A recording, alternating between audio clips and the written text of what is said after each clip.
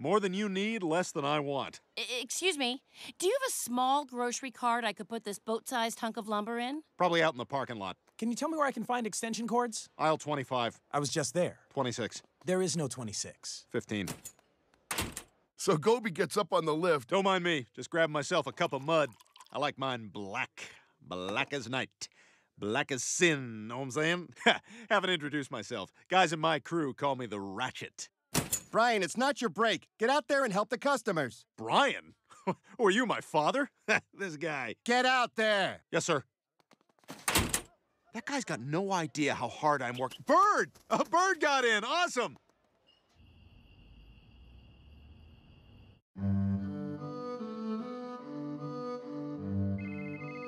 Hello?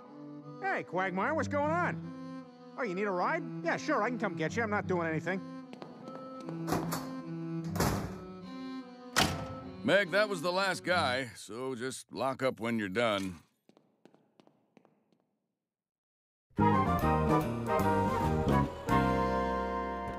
Thanks for the ride. One of my tricks drove me here from the clam, and I didn't have any money for a cab. Why not? Didn't she just pay you for sex? No, after it was over, she said she wasn't going to pay. Well, that ain't fair. You can't let these women take advantage of you like that.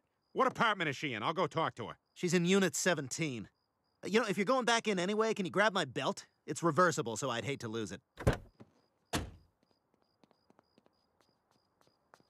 Hey, you didn't pay my friend, so I'm gonna play with your doorbell until you pay up. Stop it! I can do this all day. I love buttons. Fine, here's your money. Here you go. Peter, this is amazing. Thank you. Hey, you know what? Here's a little something for your trouble. You're giving me a cut? Wow, thanks. No problem. It's just too bad you're not here every time. Well, I could be.